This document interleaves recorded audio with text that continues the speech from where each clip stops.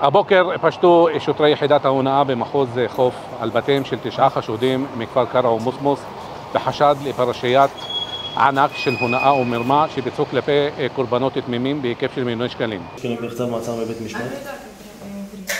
צו מעצר על קשירת קשר לעשות פשע. כל מה שתגיד ישמש כראיה נגדך בבית משפט, שיש לך זכות להתייעץ עם עורך דין. מחקירה סמויה שהנו בחצי שנה האחרונה עולה כי החשודים השתלטו על חשבונות בנקים לאחר שזייפו והכתבו כרטיסי אשראי מול חברת הסולר ומשם גבו פרטים אישיים שלהם ובאמצעות הפרטים האלה ביצעו העברות ומשיכות כסף בהיקף של כ-12 מיליון שקל. הבוקר עם מעבר החקירה מסמויה לגלויה פשטנו על בתיהם של תשעה חשודים, נתפס רכוש רב, פלאפונים וכספת שמכילה 200 אלף שקל ועוד סכומי כסף אחרים. היום נעלה את החשודים להארכת מעצר בבית המשפט.